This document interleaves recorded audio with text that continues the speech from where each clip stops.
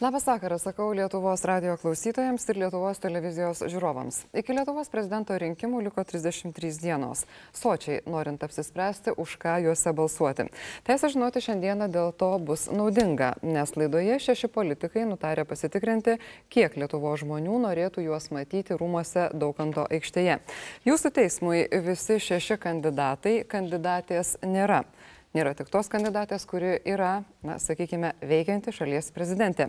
Taigi laidoje dalyvauja Zigmantas Balčytis, socialdemokratų partijos kandidatas, Artūras Paulauskas, darbo Labas partijos vakaras. kandidatas, Naglis Puteikis, savarankiškas kandidatas, Bronis Ropė, Valstiečių ir Žaliųjų sąjungos kandidatas, Valdemaras Tomaševskis, Lietuvos Lenkų rinkimo akcijos kandidatas ir dar vienas savarankiškas kandidatas Artūras Zuokas. Ponai, noriu pradėti nuo to. Rytų Ukrainos savivalda, kas tai yra be jos pačios ir Kremliaus turbūt nelabai ką žino, reikalauja prisijungimo prie Rusijos. Kaip jūsų manimų turėtų reaguoti tos šalis, kurios laiko save demokratinėmis? Pone Zokai. Sudėtingas klausimas, ypač kada šiandien procesai yra nuėję taip toli ir juos reaguoti, kaip sakyti, vienu patarimu nėra paprasta. E, matyt, svarbiausia šiandien būtų kalbėti tai, kas yra aktualu mums, tai yra Lietuva ir Lietuvo žmonėms. Tai norėčiau tik pakartoti tą, ką yra pasakę Estijos ir Latvijos prezidentai, kad e, Lietuva šiuo metu yra ES narė, NATO narė ir mums e, jokia karinė agresija negresia. Tačiau be abejonės mes turime dirbti kartu su ES institucijomis, su NATO, siekdami vieningo ir aiškaus sprendimo bei balso, kad jį išgirstų šiuo atveju Rusijos prezidentas Putinas. Tikrai negalima pateisinti, kada šiais laikais e, kažkas karinė jėga, pasinaudojant vieną ar kitą situaciją, e, bando perdalinti valstybių sienas. Gerai, bet aš pono Zoko klausiau, koks turėtų būti tas sprendimas arba ta reakcija, ponė Polauskai? Tai aš e, kelis momentus noriu pabrėžti. Kad tai, kas vyksta rytų Ukrainoje, nevyksta be Rusijos žinios. Tikrai. Tikrai. Ko gero. Nes Tai, kas imituojama savivaldos veiksmai, rusakalbių demonstracijos, yra inspiruojamos iš išorės. Toliau. Reiškia, tos sankcijos, kurios yra taikomos, o iš esmės taikomos labai kol kas menkos sankcijos iš ES ir tos pačios Junktinės Amerikos valstijų, neveikia. Jos nestabdo Rusijos. Taigi, bet ką daryti? Tai aš ir siūlau veiktų, peržiūrėti, rimtai peržiūrėti mūsų sankcijų politiką, ekonominių sankcijų, taip pat individualių sankcijų. Tai yra tai, kad mes, nu, jeigu mes tik tai stebėsim, tai dar kartą turėsim susitaikyti su faktu, kad jau ir rytų Ukrainos nebėra ir kad jinai tiesiog laužoma į dalis. Tai todėl aš manau, kad vakarų pasaulis negali ramiai stebėti ir pasitikėti Putino žodžiais, kad mes atitraukiam kariuomenę nuo rytinių sienų, kad mes daugiau nieko nedarysim, deeskaluoti, kaip siūlo Ašton. Visi šitie žodžiai šiandien neveikia. Pone Balšytė, jau sužinojome, kad Lietuva yra NATO narė, kad įvykiai Ukrainoje nevyksta be Rusijos, bet dar nesužinojome, kad e, neužtenka tik stebėti, o reikia kažką veikti. Ką veikti, jūsų manimu? Tai manau, kad iš tikrųjų turėtų būti mm, sušaukiamas kuo skubiausiai, matyti ir Europos vadovo tarybos pasitarimas tokiu klausimu, kad Na, turėtume... Buvo dėl Krymo sušauktas. Jo, bet kad turėtume bendrą poziciją ir natūralu, kaip čia galima mes reaguoti, tai yra Ukraina, suvereni valstybė ir matyti kažkokių tai ypatingų invazijų mes negalime šiandieną siūlyti ir tikėtis, kad tai e, bus teisingai suprasta. Tačiau aišku, kad tos sankcijos, kurios buvo iki šiol, jos net grasė ir manau, kad turi būti peržiūrėta ta sankcijų pateikimo ir sankcijų stiprumo pozicija. Ir šiandieną šitą situaciją, jinai dar neaišku, kaip bus rytoj, jinai, e, e, kokia bus situacija rytoj per vieną naktį ir panašiai, todėl kad šiandieną tie veiksmai, kurie iš tikrųjų yra, jau pradeda atsirasti rytų Ukrainoje, jie iš tikrųjų kelia nerimą, manau, visam pasauliui. Kelia nerima turbūt jau ir ne pirmą mėnesį būtų galima pasakyti. Pone Tomaševskai, gal jūs žinote, kokio reikėtų siekti rezultato ir kaip reikėtų to rezultato siekti? Sunku atsakyti šitą klausimą, kadangi situacija sudėtinga, bet reiškia, reikia būti ir e, kritiškesnė savo atžvilgiu, mūsų politikų ir ES politikų. E, pradžia šito įvykio buvo 2000, 2008 metais Kosove. Tada buvo atidaryta Pandoros dėžė. Mes visi taip labai vienbalsiai praktiškai pripažinam atsiradimą naujos valstybės Europoje. Šitas status quo, kuris galiojo nuo antrojo pasaulinio karo, pačiai buvo pažeistas. Aš tada buvau Seimo nariu ir nebalsavau, kadangi kažkur pasąmenėje žinojau, kad tai yra negerai. Šiandien mes kalbam apie Krymą, apie rytų Ukrainą, rytoj kalbėsim apie Škotiją, Kataloniją, Šiaurės Italiją. Ir dar bus klausimų daugiau. Rusija, Rusija su savo žmonėmis. Dar daugiau bus šitų klausimų. Škotija ar Katalonija? Sunku bus atsakyti, na, kadangi šitą Pandoros dėžė buvo atidaryta. Tai koks būtų jūsų siūlymas? Ar ją galima uždaryti, priverti? Žinot, galingieji mūsų pasaulyje priėmė tam tikrus sprendimus 2008 metais. Jūs mane klausite, ką daryti. Tai Na, jūs kandidatuojate į prezidentus. Aš manau, kad visų pirma reikia kalbėtis. Reikia kalbėtis. Reikia kalbėtis ir su tą pačią Rusiją. Nereikia varyti ant Rusijos, kadangi ne jie pradėjo šitą revoliuciją Maidanė. Aš nesu šalinkas revoliucijų. Mums užteko bolševikų revoliucijos, o taip užteko. Mes visi nuo to nukentėjom į po antro pasaulinio karo ir taip toliau įsibės atsirado dėl šitos revoliucijos bolševikų. Dabar vėl revoliucija. Vėl nukentės paprastas žmogus. O kokie bus pakeitimai, mes nežinom. Gal viena oligarchų grupė pakeis kitą oligarchų grupę. Ir dabar mes patys privorėm košės, o dabar klausėm visų, ką, ką daryti. Tai visą pirma reikia kalbėtis su visais, ieškoti išeičių. Ir nedaryti tokį sprendimą, kuris buvo padarytas 2008 metais Kosovui.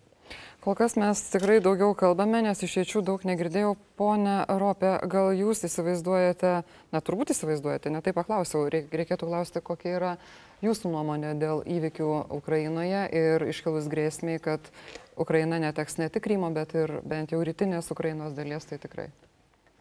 Na, kaip žinoma, Ukraina yra nedaloma valstybė ir tie įvykiai, kurie buvo padaryta Rusijos, jie negali būti pateisinami bet e, mes esam ES narė valstybė ir mes turim veikti kartu su ES ir būtent e, mes turim veikti ir galvoti, kaip padėti Ukrainai. Tai kaip galėtų Ukrainos padėti procesai, kaip ES narė ir ką galėtų pasiūlyti? Kuo bus blogiau Ukrainoje, tuo tie, sakykime, veiksmai gali tik tai didėti. Tai e, Ukraina pasirašė, reiškia, sutartį, tai reikia greičiau dirbti, kad Ukrainoje atsirastų jau rezultatai, kad žmonės pradėtų tikėti ir pasitikėti. Aš prisimenu iš savo pavyzdžio. 90 metais, kada e, Visagino gyvenvietė buvo e, priemus prieš Lietuvos, sakykime, valstybės sprendimus ir aš ten tada Ignalinoje dirbau vienas iš vadovų ir mes dėjom visas pastangas, kad bent vietoj neįvyktų poreikio E, kad vyktų bendravimas ir taip toliau. Ir per kelis metus e, situacija pakankamai pasitaisė. Tuo metu Lietuva tai... turbūt nebuvo ES ne, narė ir Rusijos nebuvo. kariuomenės Lietuva tada viena veikia, bet Rusijos poveikis buvo labai didelis. 90 metai, 91, prisiminam, žinom, ką tai reiškia ir ką tai reiškia miestui, kuriame 90 procentų nelietuvių buvo. Bet e, vėlgi manau, kad mes turėtumėm daugiau dirbti su ES ir viduje valstybės vadovai irgi turėtumėm daugiau tartis ir ieškoti sprendimų.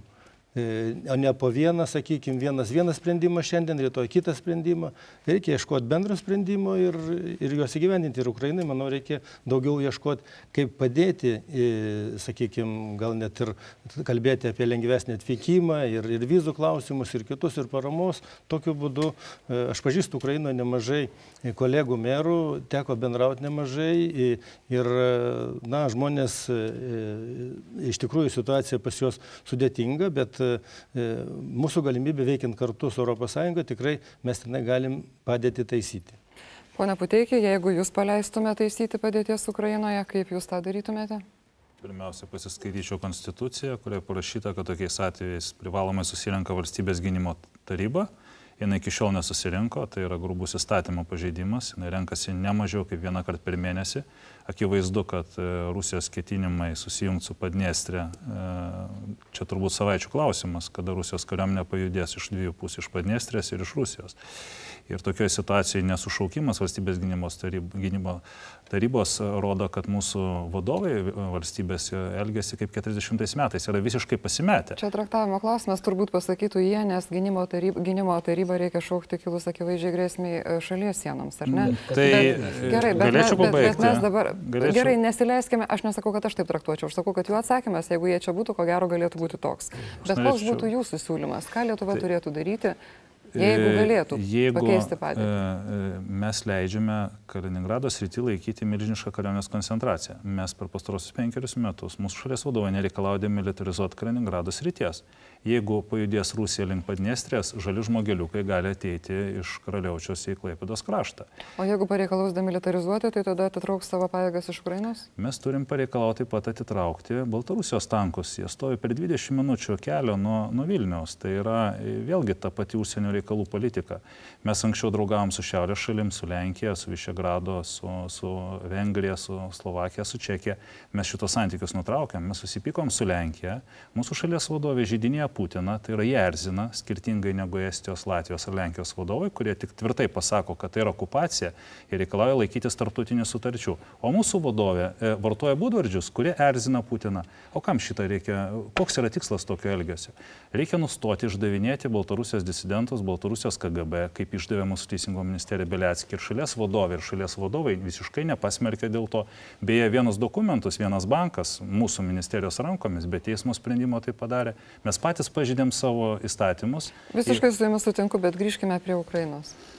Tai jeigu mes užtikrinsime savo valstybės e, saugumo situaciją, jeigu mes pareiklausim demilitarizacijos kartu su kaimynais, mes sukaustysim Rusijos dėmesį, mes atitrauksim dalį Rusijos pajėgų generaliteto specialiųjų tarnybų, kurių, beje, apeliacinis teismas nustatė, kad mūsų saugumo departamentas kartu su generalinė prokuratūra dirba Rusijos spets tarnyboms, čia kusaitės byloje, už vakar paskelbtas. Taip, taip, toksai sprendimas taip ir skamba, kad vykdėme Rusijos specialiųjų tarnybų nurodymus. Tai kai prezidentė...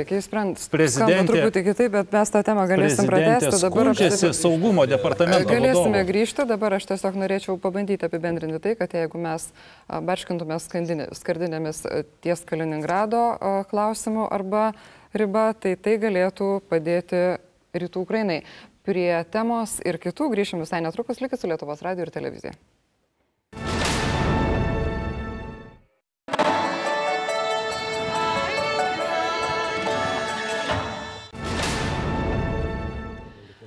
Laidoje Teisė žinoti bendraujame su šešiais kandidatais į Lietuvos Respublikos prezidentus ir diskutuojame apie tai, kas šiandien kelia nerimą Ukrainai ir ne tik jai, o turbūt visam demokratiniam pasauliui. Ukrainos rytuose vadinamoji savivalda reikalauja prisijungimo prie Rusijos. Pone Palauskai, jūs irgi norit grįžti prie tos temos. Taip, iš tikrųjų tai yra nepaprastas klausimas, sudėtingas, bet aš kalbėdamas apie išorės e, priemonės, tokias kaip ekonominės sankcijas, kitas sankcijas, norėjau dar paminėti ir pačių ukrainiečių, pačių ukrainiečių veiksmus šitai, pasakyčiau, krizėje įveikti arba agresijos tokiai pradžiai įveikti. Turi būti labai išmintingi veiksmai ir ukrainiečių, kad nepadary, nesudaryti preteksto kariuomeniai peržengti sieną ir vėl ginti rusakalbių teisės. Kas gali įvykti, jeigu ten vyks susišaudimai, jeigu valdžia praras kontrolę, nesugebės užtikrinti tvarkos. Tai aš manau, šiandien mes turim patarti ir ukrainiečių valdžios atstovams, ir ten galbūt reiktų nuvykti ir pasižiūrėti, kaip vyksta jų dialogas su e, naujai atsiradusiais, reiškia, dariniais valdžios, kad šitą konfliktą kiek įmanoma sumažinti ir neduoti preteksto kariniai invazijai. Aš čia galvoju, yra katilas, yra pats didžiausias įtampos žydinys, kurį dar galima pabandyti kiek tai sumažinti. O, ponios... ir, greitų, ir greitų priemonių čia nėra, gerbiamą rytą, nes e, tikrai, kaip sakyti, Geriausiai, matyti, Lietu... geriausiai, geriausiai pasaulio protai, šiuo atveju Junktinių Amerikos valstybių vadovai, ES didžiųjų valstybių vadovai, NATO vadovai, nebejoju, šiandien strateguoja ir galvoja, kokiu veiksmu. Aš tikiuosi, kad jūs irgi. Ir šiuo, šiuo atveju taip, bet, na, skirkime kompetencijas ir visą kitą. Dėl to aš labai aiškiai pasakiau, kad mes turime būti solidarūs su sprendimais, kurie bus rengiami. Tai NATO, palaukti tų sprendimų. Aš pabaigsiu, jeigu galima. NATO ir ES valstybių. Ir šiuo atveju ne mes esame dėja šitame visame procese pagrindinis žaidėjas, bet esame vienas iš tų, kuris sukėlė šitą košę. Ir vis laik yra priežastis ir pasiekmė. Ir šiandien dėja mūsų užsienio, užsienio košę, aš politikos... labai norėčiau sužinoti. E, Mielai pasakysiu, jeigu jūs leisite. E, š- Būtent šiandien mūsų net užsienio politikos formuotojų rezultatai ir veiksmai šiandien kvestionuojami ES, kurie galvoja, kad Lietuva gali būti labai geras vertėjas Rusijos mentaliteto, Rusijos valdžios mentaliteto ir padėti taip pat europiečiams ir Bet palaukit, amerikiečiams. ponė Zokai, tiesiog jūs sakėte, kad čia tie didieji o šiuo atveju apie priežastis ir pasekmes, tai labai ir gerai pasakysiu. Lietuvos- dėl Lietuvos vaidmens, kaip čia yra? E, e, Tai aš tai le- leisite pasakysiu. Tai pirmiausia, e, mūsų sprendimas, užsienio politikos formuotojų, traukti e, Ukrainą, pasirašyti kaip tik įmanoma e, asociacijos sutartį su ES ir po to, kai tas pasirašymas neįvyko, visas kiti veiksmai, klaidingi veiksmai, lėmė tai, kad šiuo atveju e, Putinas turi pasiteisinimą, kodėl jis tą daro. Ir tai destabilizavo situaciją pačioje Ukrainoje. Aš kaip karo korespondentas esu praleidęs daug laiko tokiuose vietose, tame tarpe. Pone Zoka, jums nepasisekė, 92 aš irgi esu praleidusi, bet tai Ukraina pasirašė politinę 92 dalį tos sutarties. Respublikoje. Ir mačiau, kaip kilo konfliktas ir kaip. Ir tokiuose konfliktuose visą laiką yra būna taip vadinamieji provokatoriai. Mhm. Ir Lietuva buvo provokatorė? Vieni iš įsitikinimo, kiti iš kvailumo, treti iš suinteresuotumo. O kai kas tuo tik tai naudodavosi. Todėl šiuo atveju ne veltui ir e, Junktinio Amerikos valstybių viceprezidentas atvykęs į Lietuvą labai aiškiai per savo žurnalistus pasakė, jūs esate saugus, tai matyt, šiandien svarbiausia Lietuvo žmonėms girdėti. Ir šiuo atveju didžiosios valstybės kartu su NATO ir mumis sieks sprendimų, kurie padėtų situaciją stabilizuoti ir ją spręsti. Sprendimų Rusijoje, Ukrainoje nebus nei per dieną, nei per dviejus, nei per trejus. Nebent jūs kalbėtumėt, kad, na, pirmin, paleidžiame ir pradedame, kaip sakykime, trečiąjį pasaulinį karą. Matyt, nei vienas to nenorim, nes yra geriau bloga taika negu geras karas. Ar dabar yra ta bloga taika, kai Ukraina yra plėšoma gabalais Dar šiandien nėra karo. ir kai rusų kariškiai šaudo Ukraino? Kas tai yra? Dar šiandien nėra Ar karo. tai yra blogoji taika? Tai yra, tai yra blogoji reikalo pusė, bet šiuo atveju visus tokius konfliktus, kurie be būtų pasaulyje, niekas neįsprendė nei per dieną, nei per dvi. Tam reikalingas situacijos stabilizavimas, tam reikalingos darybos, tam reikalingos įvairios poveikio priemonės, kurios šiuo metu organizuojamas arba taikomas tas pačios ES, NATO arba, arba sakykime, Taip, bet jūs sakėte, kad didėjai strategai strateguoja, paskui tie didėjai strategai kartu su Lietuva pasiekia, kad Ukraina pasirašytų politinę asociacijos sutarties dalį. Tai kažkaip nesueina galai. Matot, visi puikiai sutinkame, tai jeigu ES tikrai būtų norėjusi, kad, Lietu, kad Ukraina būtų pasirašiusi asociacijos sutartį, tai tą reikėjo padaryti praeitų mėnesį. Šiandien pasirašymas politinės su- su- su- sutarties, tai yra naujadaro šiaip jau pažiūrėti, tai yra, taip sakant, bandymas gelbėti situaciją, kada jau, atsiprašau, yra per vėlų. Reikėjo visą Tai reikėjo darbą ir Europos? Europos Sąjungai daryti tame tarpe ir kitoms valstybėms, e, būtent praeitų metų lapkričio mėnesį. Ir kai neįvyko pasirašymas, reikėjo gerbti ir laukti, kol patys ukrainiečiai, žinodami, kad maty, mes matome, kiek yra daug europiečių, proeuropietiškai nusiteikusių Ukrainos gyventojų, kurie perinks valdžią, tą patį Janukovičių su jo auksiniais batonais, jis rinks tą valdžią, kuri gyvendins reformas ir pasirašys Žinote, aš sutartį. kažkodėl esu linkusi galvoti, kad jie ko gero galbūt ir laukia rinkę, bet juos pradėjo šaudyti. Ir kaip rodo jau ateinantis tyrimų duomenys, nekas kitas kaip tie paties Janukovičiaus arba Kremliaus sukurstyti e, žmonės ir šaudė, ponia Balšytė. Iš tikrųjų, šita operacija buvo pradėta renkti 2008 metais. Ir aišku, reikia prisimti visom pusėm kaltės, todėl kad ir NATO matyt netikėjo, kad taip gali būti, bet tai buvo pasakyta ir buvo paruošta armija, strateginiai planai, kurie pradeda įsigyvendinti. Ir vis dėlto į tą tiesioginį klausimą, ką mes galėtumėm pasiūlyti, mes šiandieną negalim atsakyti, tiesiog mes neturime informacijos, mes neprieinam prie jos, nes jinai yra slapta. Ir aš manau, kad taip vadinamas didžiosios valstybės, kurios e, e, turi ir ateityje turės pačią didžiausią įtaką į tam tikrą viso šito regiono raidą, tikrai jos e, tam tikrus e, sprendimus daro dėl perspektyvos ir dėl ateities. Bet aišku viena, kad buvo aneksuotas Krymas, aišku viena, kad ką ir buvo paminėta, kad stengsis padaryti koridorių iš Padnestrės per Ukrainos teritoriją. Ir tai aišku neramina ir rytinę Ukrainos dalį. Ir kaip Ukrainos pati e, laikinai dabar paskirta valdžia ir mes niekada šito nepripažinsime. Ir matyt ateityje tarptautinė bendryje bus vienas iš sunkiausių uždavinių ateinančių dešimties metų, gal ir daugiau laikotarpyje. Dėl Kosovo aš norėčiau irgi kažkaip sureaguoti. Aš esu buvęs Kosove ir 2008 metais buvo šiek tiek kitokia situacija, todėl kad ten buvo vykdomas genocidas. Per vieną naktį buvo, buvo išžudoma tiesiog vienos tautybės arba musulmonų tikėjimo žmonių ir šiandieną jų yra nerastų e, tūkstančiai žmonių e, 20-ame 21 amžiuje, todėl Kosovo čia ne, nereikėtų taip jau vienas prie vieno lyginti, kas atsitiko su Krimu. Pone Puteikį. Aš noriu grįžti prie Lietuvos nacionalinio saugumo klausimo, kuris glaužiai susijęs su įvykiais Ukrainai. Putinas, kažin ar būtų ėmęs Krymą, jeigu įgulose būtų 60 procentų nevietinių gyventojų. Šita reforma buvo padaryta armijos reforma, padarant šauktinius, kad gali tarnauti vietoje prieš keletą metų. Šitą operaciją atliko e, GRU, e, vyriausia armijos žvalgyba Rusijos. Jis per ukrainiečių korumpuotus politikus pakeitė įstatymą ir padarė, kad tarnauja vietoje. Tokiu būdu Kryme... Jūs sakėt, visa informacija slapta, štai ką žinote. Tokiu, nu, tai šitas, šita informacija yra e, pagrindiniuose puslapiuose, kurie nagrinėja karinės temos. Ir anglų ir rusų kalba, tai laisvai prieinama informacija. Ir Kryme taip 60 procentų įgulų sudarė vietiniai rusai ir dėl to tos įgulos nesipriešino. Iš čia darykime kitą išvadą. Pažiūrėkime, kas atsitiko Lietuvoje ir kuo skiriasi nuo įvykių, nuo armijos reformų Latvijoje, Estijoje ir Lenkijoje. Jeigu e, visos šitos trys šalis didino e, finansavimą, nemažino šauktinių, nemažino profesionalių kareivių, pas mus įvyko priešingai. Mes paleidom profesionalius kareivius, sumažinom kariuomenę 40 e, procentų, vietoj jų priimėm 30 civilių, padėkokim gydytojui Olekui, prisėmė giminaičių švogerių ir panašiai, mes padidinam trečdalių generalitetą, iš esmės mes pavertėm Lietuvos kariuomenę kaip prieš karinę kariuomenę, mes ruošiam generolus emigracijai. Tai e, kai visos šalis nuėjo priešingų kelių ir dabar e, paskutinis, pažiūrėjau, mane asmeniškai trikdantis sprendimas yra tos varganos e, granasvaidžių ir prieš lėktuvinių raketų atsargos sukištos į kelias lietuviškas bazės. Kitaip tariant, Rusijos kariniam raketom iš Baltijos laivyno vieną salvę sunaikins 90 procentų mūsų prieš tankinių ir prieš lėktuvinių atsargų. Tai yra totalus absurdas. Mažo to. Dabar mes ruošiamės pirkti lenkišką prieš lėktuvinį įrenginį, kurio rezultatyvumas Gruzijos kariai viens prie 20. Aš tegul neįsižeidžia ponas Tomaševskis, prie visos pagarbos Lenkijos. Ponas Tomaševskis pardavė?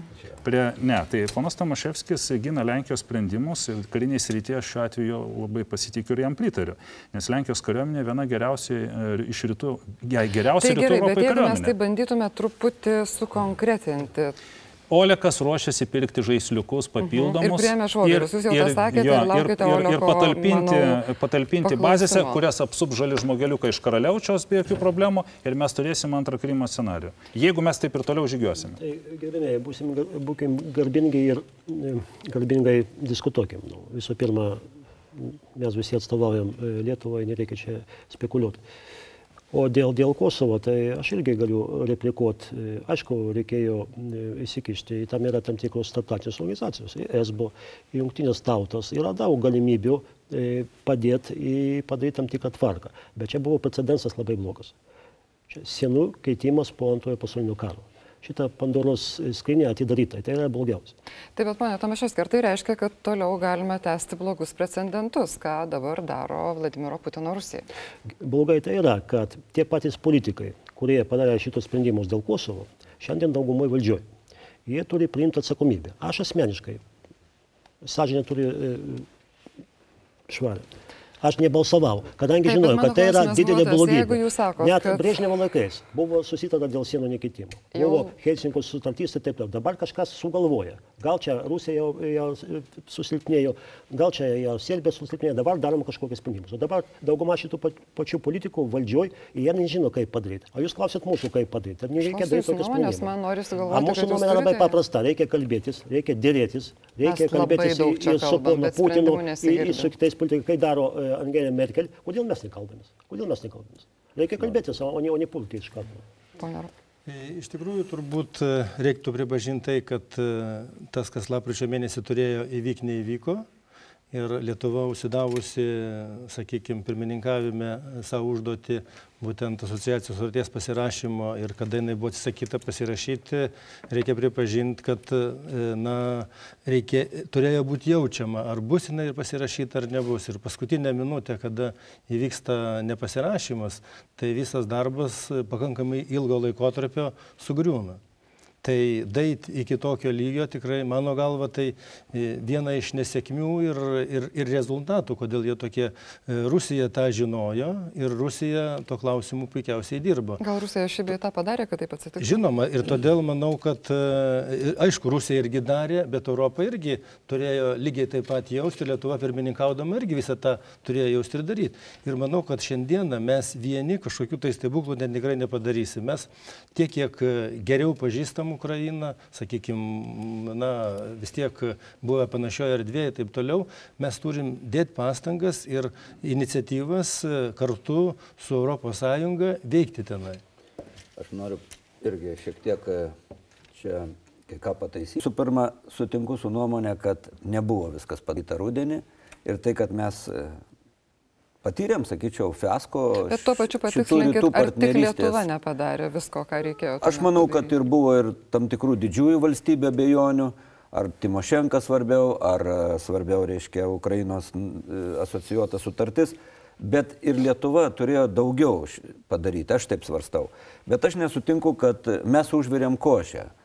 E, šitas teiginys mane šiek tiek e, verčia išsakyti savo nuomonę. Aš manau, kad košę užverdė Janukovičius ir visos priežastys guli ten viduje, Ukrainos viduje. Ir tai, kas įsiveržė į paviršių ir ta minė, kai sukilo, jinai sukilo ir dėl to, kad nebuvo sutartis pasirašyta, bet jau nebuvo galima gyventi tokiom sąlygom, kada korupcija buvo pasiekusi tokį lygį, kad nei verslas, nei žmonės negalėjo normaliai gyventi. Ir buvo daug kitų priežasčių, dėl ko sukilo. Todėl vien tik tai matyti, kad mes sukėlėm, tai būtų neteisinga. Dabar dėl Krymo. Rusija Krymą visą laiką matė kaip teritoriją, kurią reikia gražinti. Pagal mano duomenis, tai jau gelto, oranžinės revoliucijos metu jau buvo svarstomi tam tikri scenarijai. Niekada nebuvo atsisakyta šitos minties. Galbūt keli scenarijai buvo ir čia pasitaikius progai buvo gana, sakyčiau, meistriškai pasinaudota. Yra įvairiuose karo mokslo vadovėliuose sakoma, geriausia karą laimėti be šūvio.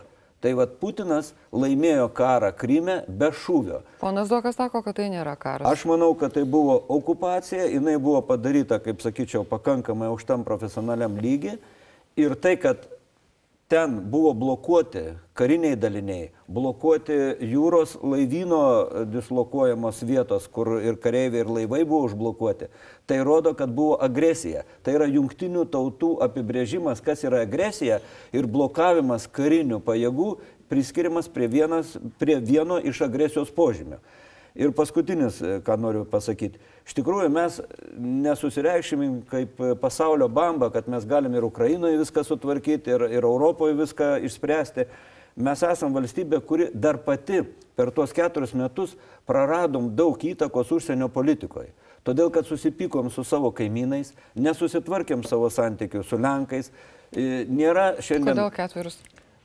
Prašau? Kodėl ketverius metus? Todėl, kad pastaruosius ketverius, ketverius metus e, dabar šiek tiek e, jau mes pradėjom tuos atšildyti santykius.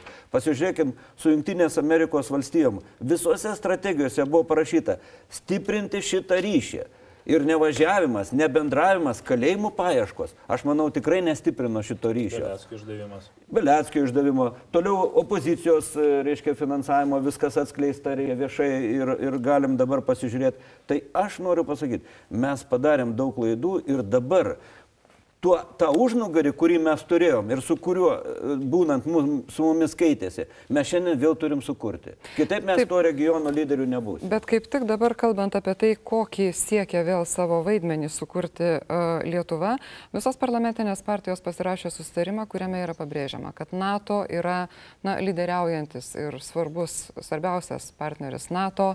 Ir tarsi tai turėtų išsklaidyti visas abejonės. Bet ar jūs visi sutinkate su tokia nuostata?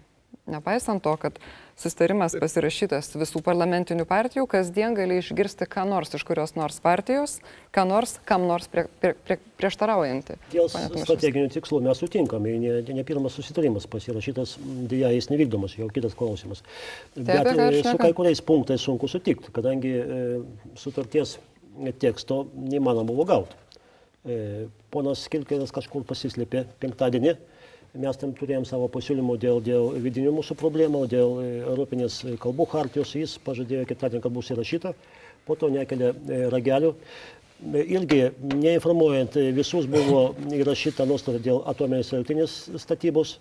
Mes kategoriškai pasisakėm prieš, kadangi referendumas įvyko, jokių statybų ten negali būti. Bet, tai bet, bet pane Tomaševski, čia tikrai yra parašas Lietuvos Lenkų rinkimacijos nario Jaroslavo Narkevičiaus. Ar jie gavo? B21 jis gavo mano įgaliojimus kad pasirašyti, kadangi nepasiramašymas būtų dar viena banga pulti mums. Tai geriau pulti. pasirašyti bet, ir ne, mes nevykdyti? Bet, bet mes e, nesutinkam, e, kad paslapčia buvo įrašyta nuostatą dėl atominės statybos, čia buvo apgailės būdų padaryta ir į mūsų ne visi irgi pasiūlymai buvo įtraukti. Sako, tekstas neredaguojamas. Tai kam tada e, redakcinė kolegė? Tai vienas kirkals turėjo surašyti visą tekstą, tai pasirašyti pats, tada būtų gerai visiems. Taip, pane Tomaševska, tai kam tada pasirašyti dokumentą, su kuriuo nesutinkame? Tai yra kiti punktai, kurie mums patiko, mes negalėjome taip visą, viską atmes. Bet buvo negera praktika būtent šito dokumento rengimo. Ir grįžtant prie pasirašytos sutarties, tai pirmiausia reikėtų vėlgi priežastis ir pasiekmė. Na, penketą metų faktiškai Lietuva skiria mažiausią finansavimą na, savo gynybai. E, maža to, faktiškai šiuo atveju mes, na, galim sakyti, nesame geri NATO alijanso nariai. Ir dabartinė prezidentė, prisiminkime jos ir genialią frazę prieš keletą metų pasakytą, kada buvo paklausta, kodėl Lietuva neskiria pakankamo finansavimo taip, kaip jis yra įsipareigojusi NATO, jos atsakymas buvo, jeigu tai yra nerašytinis įsipareigojimas, tai reiškia nėra jokio. Tai dabar grėsmės akivaizdoje, aišku, galima daug daryti veiksmų, ypač prieš rinkimus, tačiau tai nėra nuoširdų ir tikra. Klausimas, kur mes buvome visus paskutinius penketą metų ir, ir, ir iš tikrųjų reikėjo palaipsniui, pagal galimybės be abejonės ekonominės, ir tą būtų supratę ir NATO alijanso nariai, bet mes turėjome skirti didesnį finansavimą. Kitas dalykas, iš tikrųjų, e, šiame susitarime yra supliekti keli dar dalykai.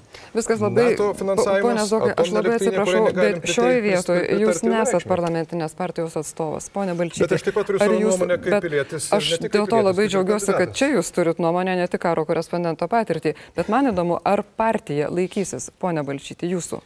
Ar jums Taip, irgi manau, kai kurie kad, dalykai e, patiko, kai kurie ne? Ne, jie visi yra labai gerai surašyti. Manau, kad ateityje mes... Na, nes ponas Kirgilas, anot pono Tomaševskio, surašė ir pasislėpė taip. Turėsim galimybę diskutuoti dėl energetinio saugumo. Aš kartoju tai, ką girdžiu. Energetinio saugumo įsitikrinimo. Reikės diskutuoti, gerbimi kolegos, visiems, kaip mes ateityje turėsime užtikrinti šitų, kai sako, ne tik tai šitų pagrindinių nuostatų vykdymą, bet ir pensijų, atlyginimo didinimo klausimų, iš ko mes gyvensim ateityje. Ir grįšim prie šitų temų. Tai aš esu tikrai šiandieną įsitikinęs, kad mes galim iki 2020 metų įvykdyti savo įsipareigojimus alijansui. Tai būtų tikrai nesuprasta, todėl kad 2 procentai nuo BVP ir kada iškilus yra tokia grėsmė, kada yra atskraidinami dešimtis naikintuvų, kurie kainuoja po kelius šimtus milijonų eurų ir jie yra pasiruošę e, užtikrinti visišką mūsų valstybės gynimą, tai aš tikrai manau, kad kad reikės ir visom kitom politiniam partijom šitą susitarimą vykdyti. Tai viena, ką, viena tai, ką jūs galvojate, bet kita, ar partija sutinka, ar partija yra vienbalsė dėl šito, šitos deklaracijos? Tai partija visada būna e, tam tikra dalis žmonių, kurie galbūt turi kitą nuomonę, bet dauguma partijos sutinka ir yra mūsų partijos lyderio parašas. Ir aš pats puikiai prisimenu, kad visiškai prieš krizę buvo 1,76 procentai nuo BVP finansavimas NATO. Tikrai mes ėjome į šitą tikslo įgyvendinimą, bet krizės metu daugiau negu milijardas buvo sumažinta.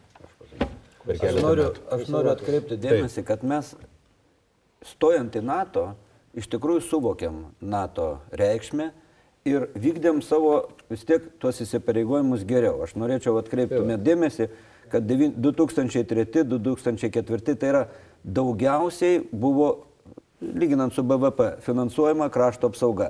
Ir tik įstojus į krašto, įstojus į NATO, pasižiūrėkit, kokią kreivę iš karto finansavimo. Ir dabar mes vat, e, stovim apie 0,78. Na, maždaug dvigubai negu buvo. Tame. Tada buvo Keikilas pats ministras. Tai ką aš, ką aš noriu pasakyti, tai dvigubai mažiau noriu. Šiandien į jūsų klausimą tiesiogiai noriu atsakyti. NATO yra vienas iš stipriausių alijansų, karinis alijansas pasaulyje. Ir mes esam to alijanso nariai ir dalis. Ir aš galvoju, kad reikia daugiau matomumo NATO Lietuvoje, ypač dabar, kai tam tikros grėsmės iš rytų akivaizdžios. ir tai, kad atskrido naikintuvai, ir tai, kad mes sakom, jog NATO turėtų čia gal dislokuoti ir savo e, tam tikras e, karinius e, e dalinius. Tai yra tam, kad atgrasimo priemonė, kuri e, Rusijai, manau, veiktų labai e, gerai, reikia viską tą padaryti, kad tas būtų. Kitaip Lietuva ir šiandien žmonės, jeigu perka kruopas ir įvairiausius kitus dalykus, tai mes jiems turim pasakyti, jūs gyvenkit, jūs saugus. Yra gynyba, yra alijansas, tikrai mes sugebėsim apginti. Bet aš negaliu nepriminti, kad jūs pasirinkote būti kandidatas tos partijos, kuri 2008-aisiais kreipėsi į Konstitucinį teismą, ar NATO karinės bazės yra, galėtų būti ne prieštaraujant Lietuvos konstitucijai. Temą mes tęsim visai netrukus, likit su Lietuvos radiju ir televizija.